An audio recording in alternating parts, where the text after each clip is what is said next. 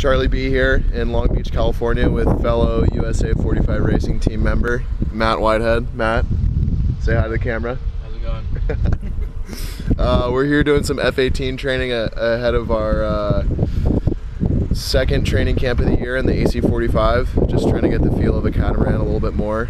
Um, yeah, check out some of the clips from our session. Enjoy it.